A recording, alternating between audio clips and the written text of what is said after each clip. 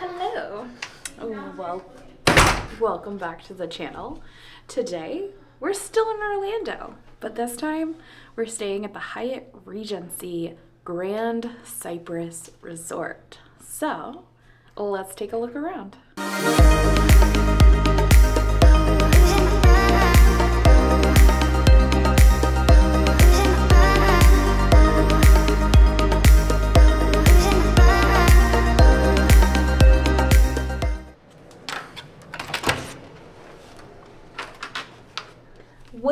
We first walk into this room, now this is a standard king room here.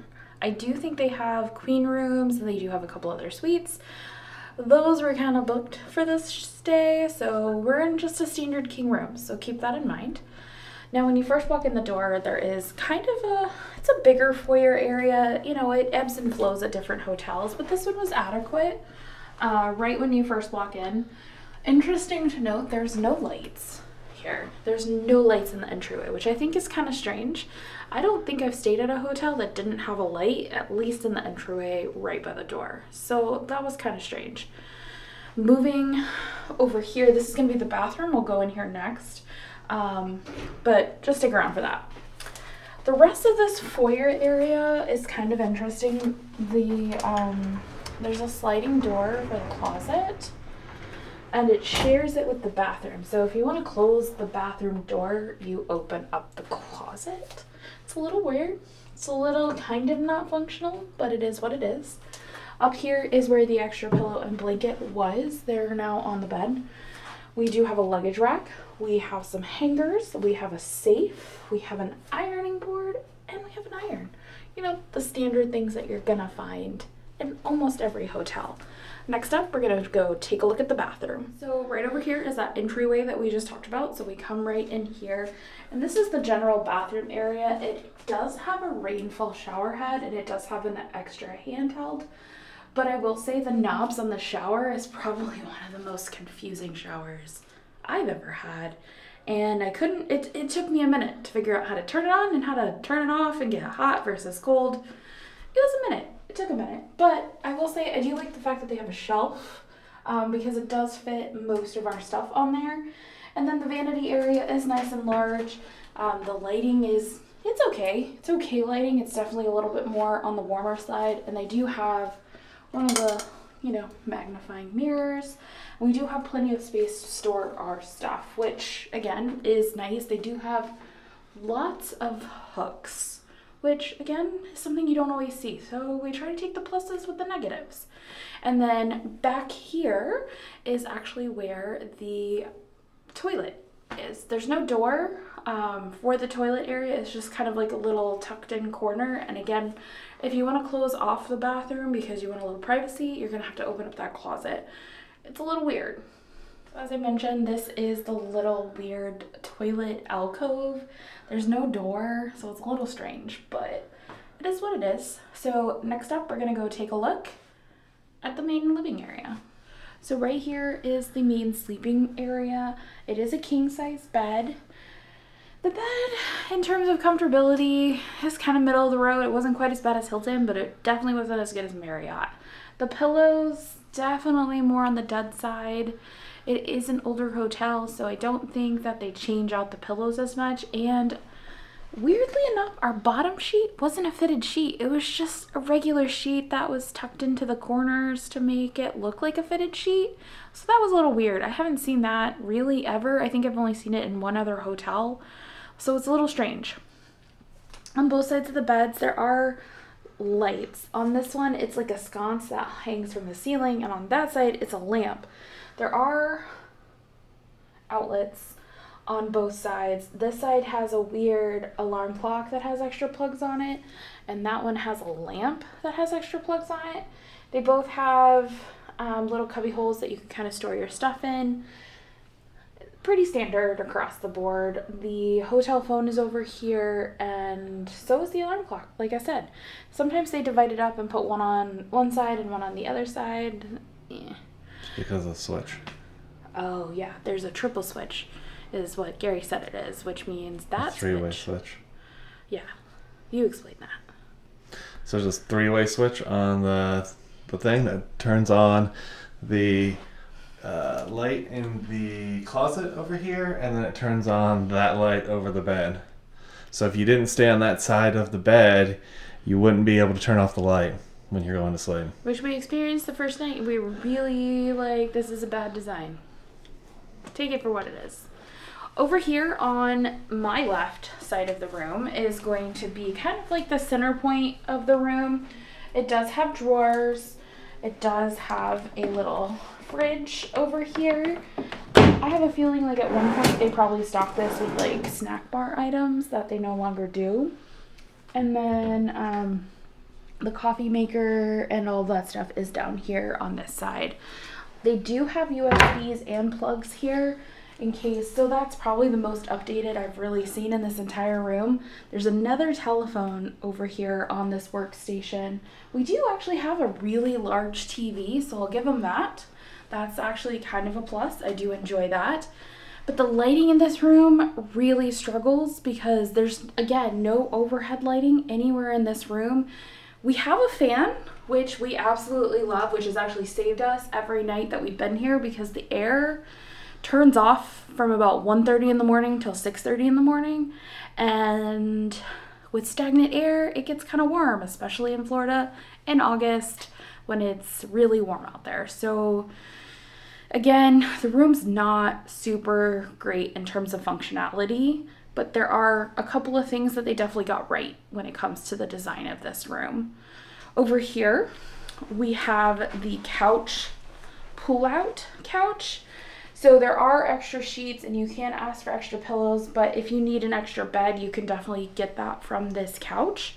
There is a stand over here, so if you want to set your drinks or whatever, you have that over there.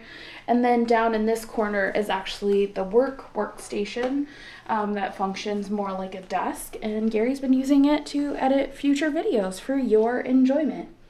Again, the functionality of this room is really very 90s, early 2000s in terms of updating. It really hasn't been updated in at least 20 years, which is a little bit of a struggle for me, especially for the cost of this room. This room is roughly about $180 a night. It's a little much for the fact that it really hasn't been updated in quite some time, and as you guys will see as we tour the rest of the hotel, it's it can be definitely dated in definite and in, in certain areas of this hotel. So that being said, let's go take a look at the rest of the hotel. So bonus tip two with this room, there's really nowhere for us to put our luggage. This is kind of weird. This is probably the first hotel where we've really had our luggage out. Um, and it's just because there's nowhere to put it in the closet. There's not really any spaces in the room that they fit functionally. Usually there's one area or two that you can find in a hotel where you can tuck your things away, but that's not really the case here. So I wonder, do people really come here long term? or are they just here for a quick weekend? It's interesting because I'm here for a conference, which is all week, and so are a bunch of other people. So it's like, how do you make the functionality of this room work and still put your luggage away so you don't have to stare at it every day? It's kind of interesting. Next up, I'm going to show you guys the view. So here's our view. It's a lake. There is another view where you can kind of view the pools and the water slides. And I think there's a third view where you would get a view of Disney Springs. And it looks like right over there you can see the elevator go up and down. That's where the elevator comes up and down. Yeah, it's an okay view. Uh, right over there where that big wheel is, that is I Drive and the swing and the big, what we call the high roller in Vegas. I forget what they call it here. It used to be the eye, the eye of Orlando. That is what you're seeing over there. And then kind of panning over to the right is SeaWorld. And back behind us, which we don't have a view of, is Disney Springs. We're, we're right around the corner from Disney Springs, just to kind of give you a lay of the land of where this hotel sits.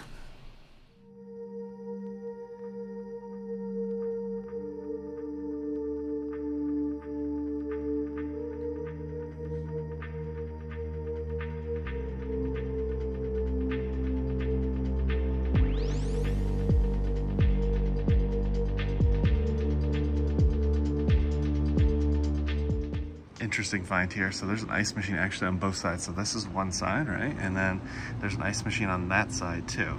So no matter which side you're on, there are two ice machines on each floor. You know how we do. Your media ice machine is at the end of the hall, farthest from the elevators.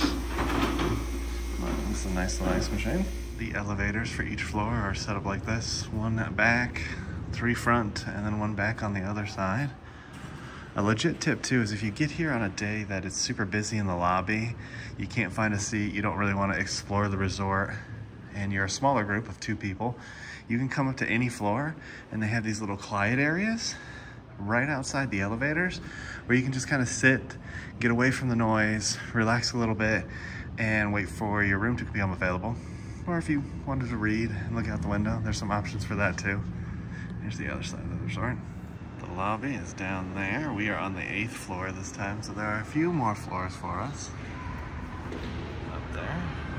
We're almost to the top. We're about probably a little over halfway.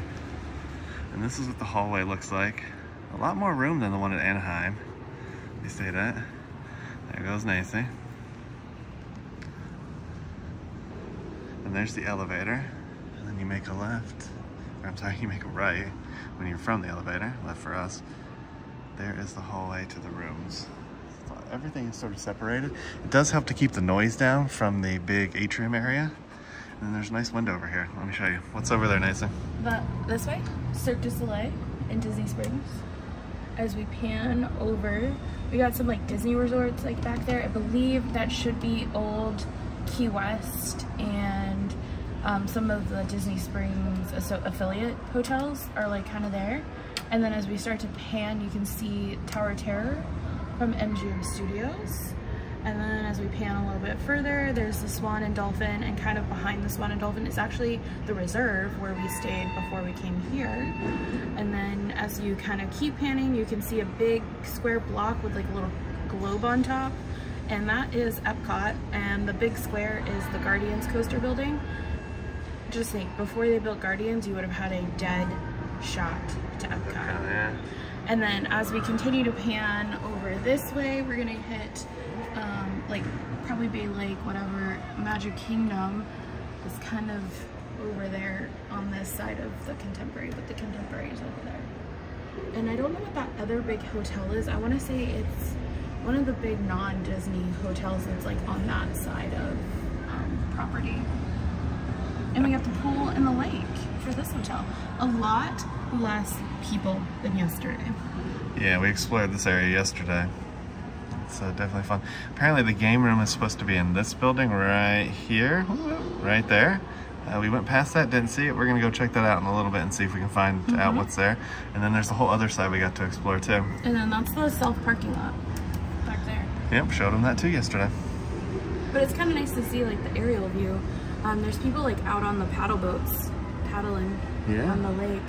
I feel like it's just a little too too much sun exposure to be like on the water. I don't think people realize like you're gonna get a lot of sun if you're just sitting out on the water like that. So let's go see what we can find.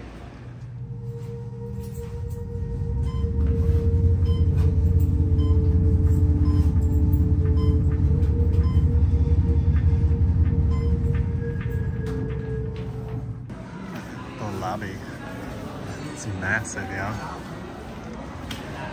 massive atrium setup. There's the check-ins over there. Some green space, and you'll see it goes atrium style.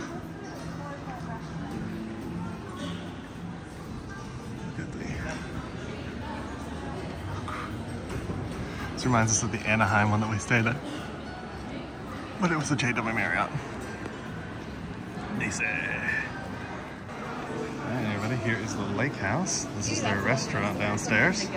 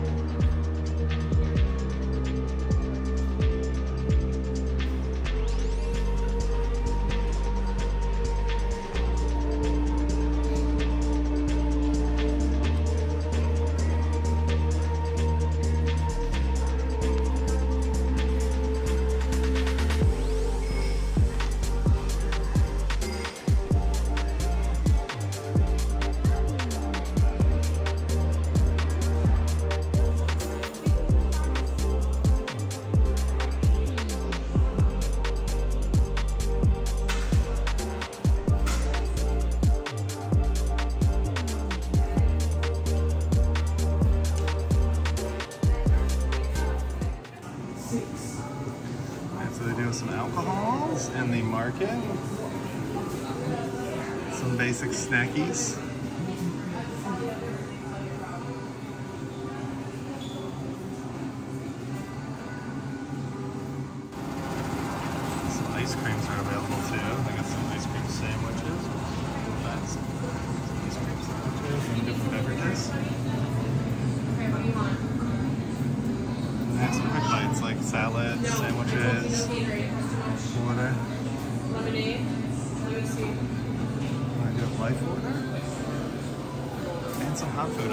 too. Some fruits and vegetables. And then some coffees and teas and stuff. Is mom There's a gift store too in the lobby that you want to check out with some clothes and some Orlando wear. I'll go in there in a little bit. Alright, heading out to the pool.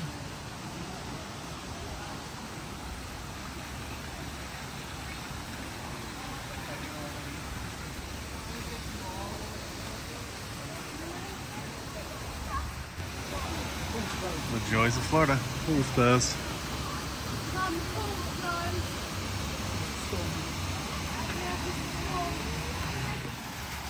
Outside seating, some water features. Check this out.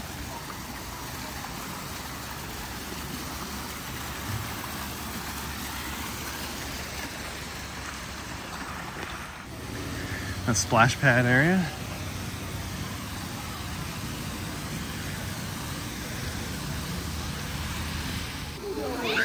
Here's the pool area. Another pool area.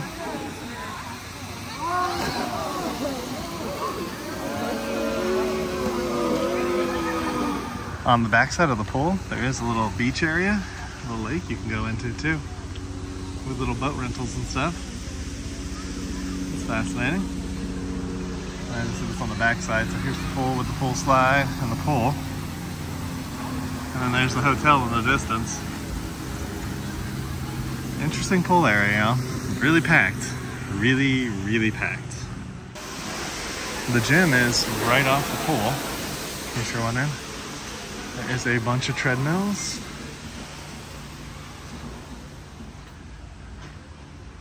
There's a bunch of treadmills. Some stair climbers, ellipticals, row machines. Pelotons.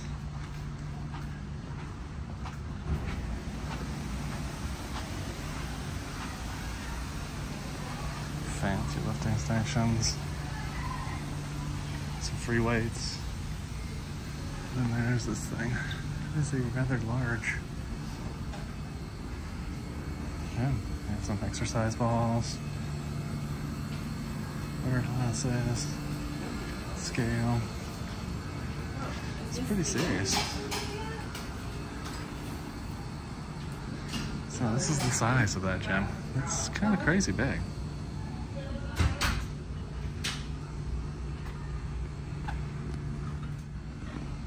No weights.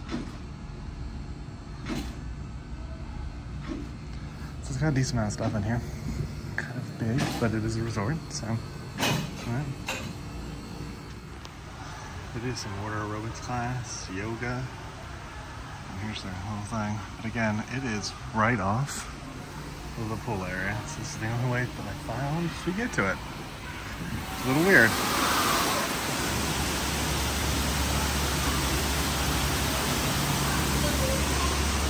Wow. We're going into the cave, y'all.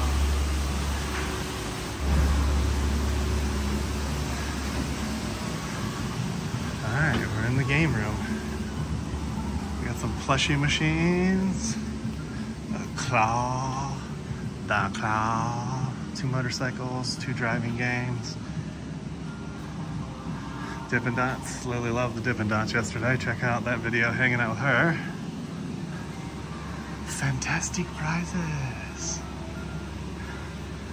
There's only one prize. Oh, you slowly cut the rope. That's interesting. Candy crane. Skee ball. A Pac-Man Galaga game. Wow. 21st century. Two more driving games. They really love their driving games here, and a third driving slash shooter Jurassic Park, and a Batman driving game. So whoever gets the games here loves driving games. Found a hidden game back here if you want to play some skee ball. This is the underwater grotto area. How you have to get to the gym and to the game room. If you're staying here, this is the one I would rent. Macy agrees too. There's the QR code to book it too. Yeah. I think that's for all the cabanas, but definitely check out queue number five. What do you think? 10 out of 10. I would love to be in this one. What do you think about the game room and the gym? Game room is pitiful. The gym is a dangerous trap. Be careful. When work, it's nice. Like the inside is nice. It's got a lot of equipment, but it's dangerous getting there. So, Yeah, and your feet are gonna be soaking wet when you get there. Yep. Outside the pool area, there are some like walking trails. This resort is interesting, y'all. It's not very well planned out, it doesn't seem, and it's not very well signed either, so you don't really know where you're going. But let's see what we can find. So they do have a restaurant back here by the pools It's called Four Flamingos. And there's a little like seating area under here. And that's the building that I was walking around a second ago, which is called Four Flamingos. Something else I've noticed is that they have these weird statues. Like they're just placed along the way. There's like kids in the bushes having picnics. This one's got a bird in his hand. I don't I don't really understand it, but if you do understand the reason, let me know in the comments below. I'm gonna keep investigating while we're here. All right, so we have some more random artwork. A guy playing a flute.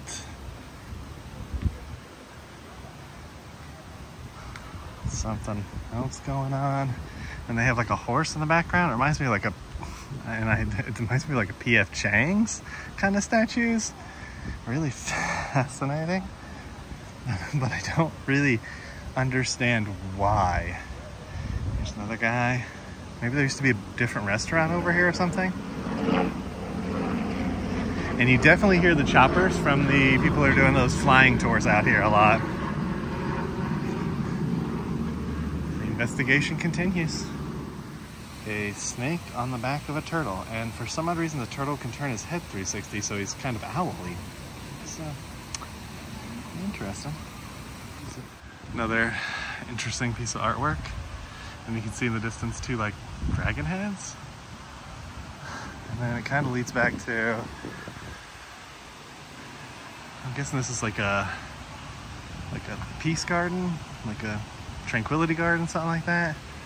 And then it leads back to the lobby area. I still didn't find the game room, so I'm gonna keep searching. So if you hit the pools, there's a walking trail behind it that's like right adjacent to the parking lot. this place is so confusing, y'all. I still haven't found the arcade. I've, I've literally found the pools twice, but can't find the arcade. I'm gonna have to start at the beginning and like go back, but I'll figure it out. That crosses the water. And then this will lead me back to that original pool I was at when I started my expedition prior to finding the gem. So there are some pickleball courts here too. You'll see we're at the guest parking lot. The hotel is all the way over there. You see that over the trees? And then the pickleball courts are supposed to be over that way. We're not gonna go head all the way over there. And it looks like they do have a professional golf course too surrounding this. And there's the choppers I talked about yesterday. Flying over constantly. But yeah, this is the outside area. We're gonna go check out the mini golf and the basketball court. That looks like a prison. It's not, but it looks like a prison. It does. Looks like that DeKalb prison. Right? Mini golf on the way, y'all. Mini golf on the way. Right, so here's the mini golf right there. You'll see that right next to the park. And then there's the basketball court. It's like a half court, if that, with a basketball hoop. Fancy. Basketball court. There's the golf course, the actual golf course. Now, what were you saying? Oh, this just kind of makes me think of a timeshare that my parents used to have.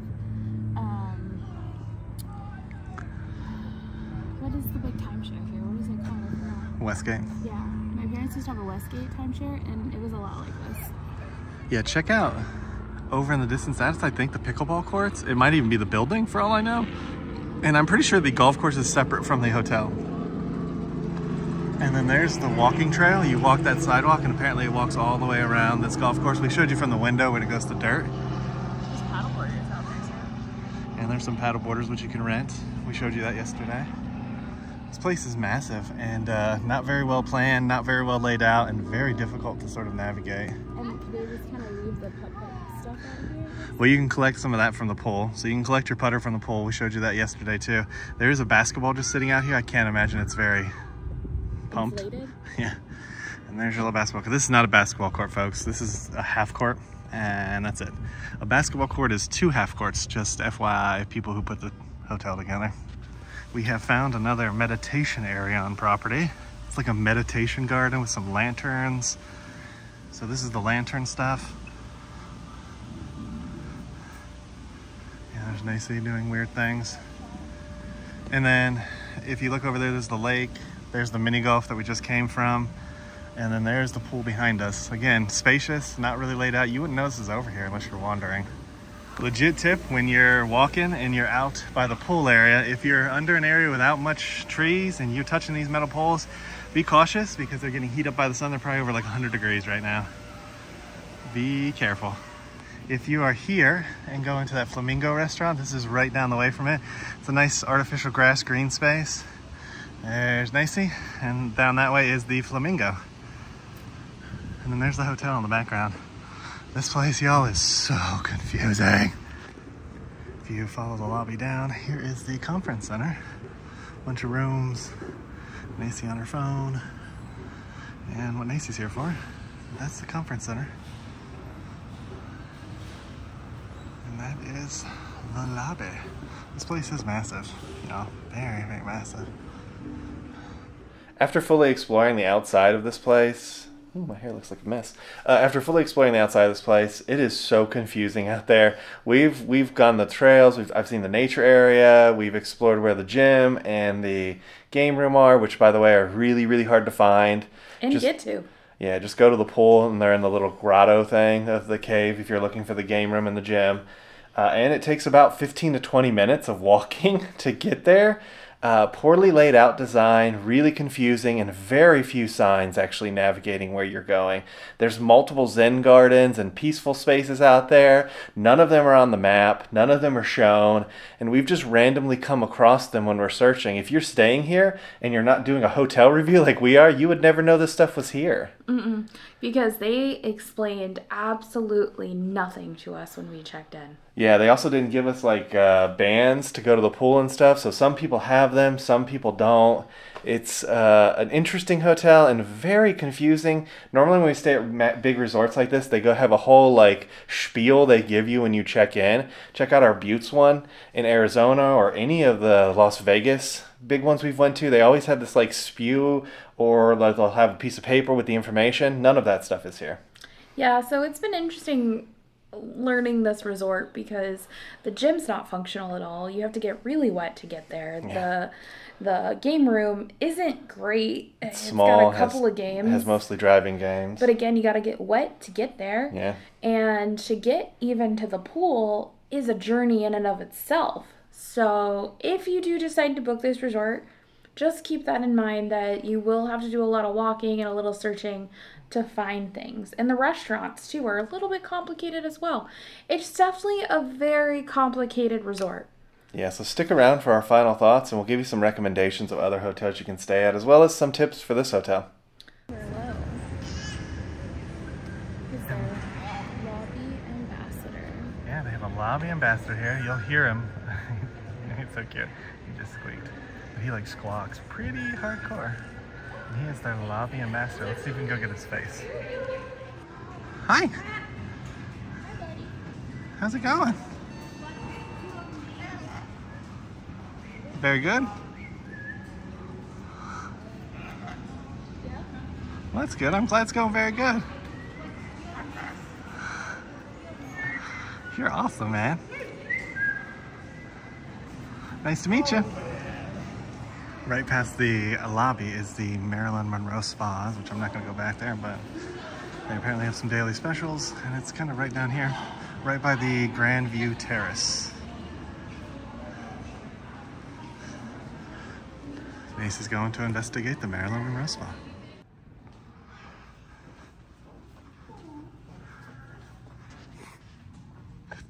Waterside Yoga. And here are the hours. They are closed on Wednesday, y'all.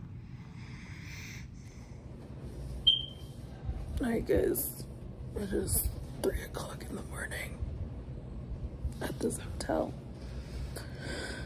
And the smoke alarm battery is out, as you guys can hear. So we just had to call the front desk.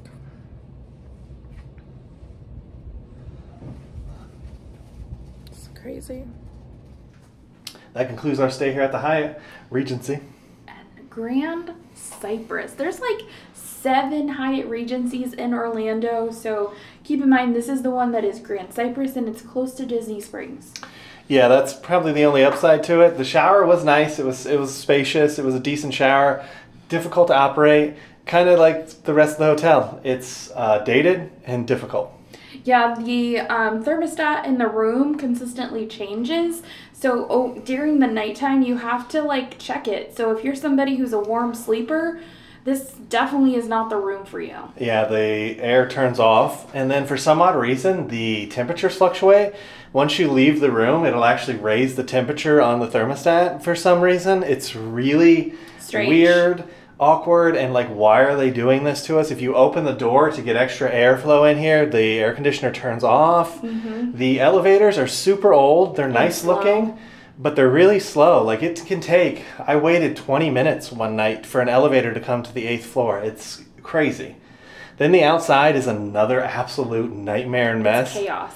The map is not accurate. We'll show you the. We showed you the map earlier in this video. It's not accurate of the property. It doesn't show where the stuff is.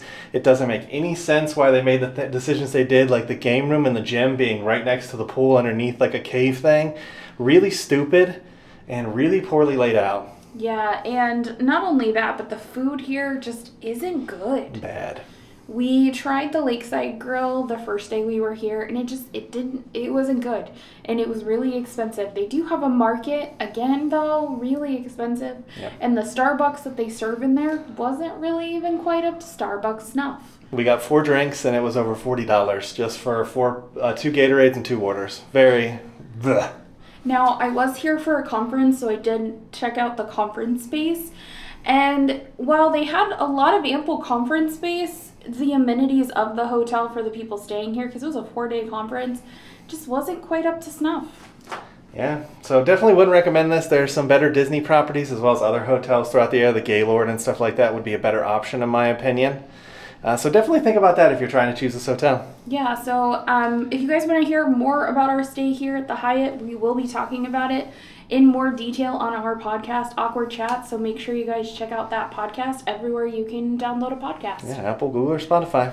So if you guys like this video, make sure you give it a thumbs up Hit that subscribe button, and make sure you ring that notification bell so that way you get notified when we do at least three videos a week. and we'll come and get you all for the next one. Ain't that the truth, baby Ruth? Bye, everybody. Bye.